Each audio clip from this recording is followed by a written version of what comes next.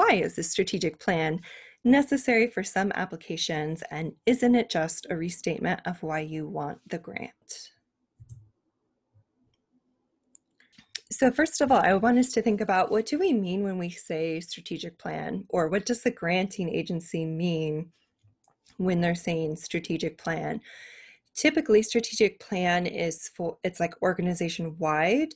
and it's got like your organization's mission and then like four uh, pillars as or themes or core values or whatever your organization calls them uh, that help support that mission but then break down further into okay of our four core values or whatever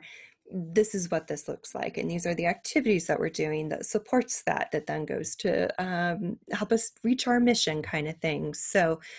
as far as granting agencies asking for that it's usually a way for them to vet whether or not your organization is actually a match for that granting agency because obviously granting agencies want to fund and support things that support their mission and strategic plan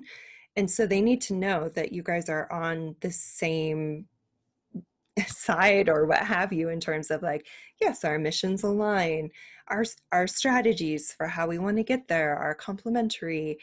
Um, so that's usually what they're looking for and whether or not that's submitting your strategic plan or pointing to some specific things in your strategic plan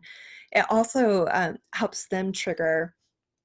that and verify that the grant project you're proposing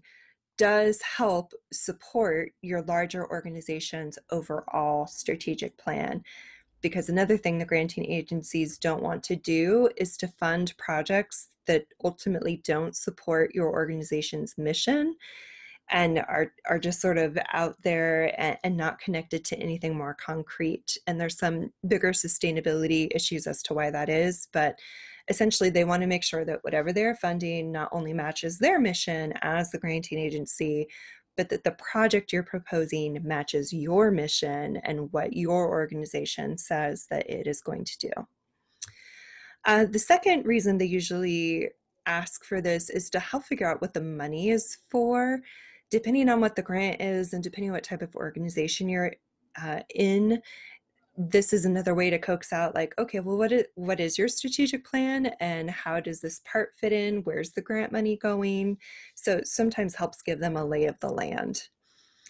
And then does there need to be a line from the organization's mission and strategic plan to the grant? And so that this is if the granting agency is asking for like do you need to link your strategic plan? Is it uh, like a supplemental file that you need to upload? Uh,